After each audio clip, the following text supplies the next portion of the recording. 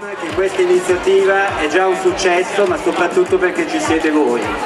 Questa è un'iniziativa che come Asso Lombarda abbiamo voluto fare in collaborazione anche col Comune di Milano e la Regione per celebrare in un modo diverso il 500 anniversario della morte di Leonardo da Vinci.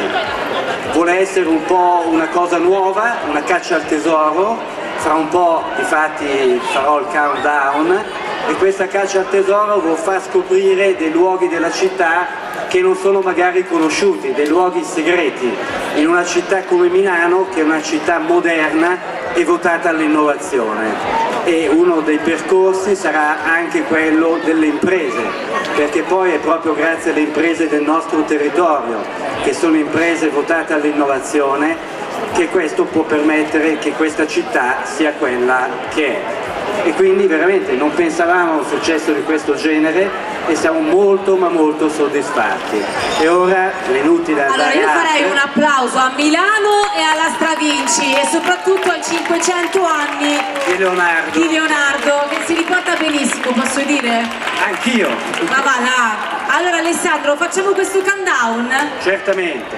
Però voi lo fate insieme a noi. Partiamo! 10, Dieci, 9, nove, 8, 7, 6, 5, 4, 3, 2, 1.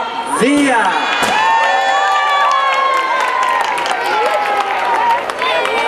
Direttore, genio impresa, allora l'impresa con il genio di Leonardo si concretizza anche in una maniera divertente alla riscoperta della nostra città, un po' quello che fa Asso Lombarda con le sue iniziative.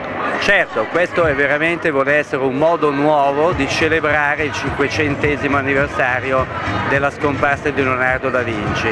Dal nostro punto di vista è un modo nuovo per far conoscere Milano, che è una città moderna, una città votata all'innovazione ed è proprio attraverso questa caccia al tesoro dove si andranno anche a scoprire dei luoghi magari nascosti e tra le varie tappe ci sono anche le imprese perché non dimentichiamolo che le imprese del nostro territorio sono quelle che danno l'innovazione e permettono alla città di essere così moderna ed evoluta.